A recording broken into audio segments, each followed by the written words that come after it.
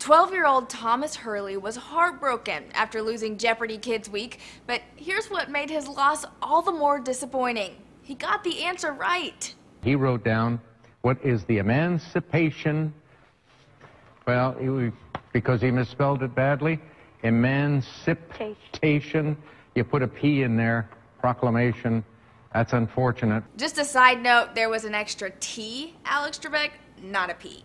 Anyway, now Thomas claims he was cheated, telling the News Times, I was pretty upset. It was just a spelling error. But the show backs its decision, saying it would be unfair to other players to give credit for incorrect answers. However, that hasn't stopped the influx of outrage from viewers in support of Thomas. But as USA Today makes note, there are others praising Jeopardy for not handing out trophies for participating.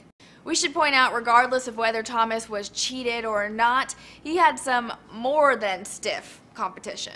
Before the incorrect answer, he was at $9,600, a mere 27,000 bucks behind the winner. So basically what we're saying is even if Thomas had won the $3,000 he wagered, chances are the ultimate outcome wouldn't have been affected much.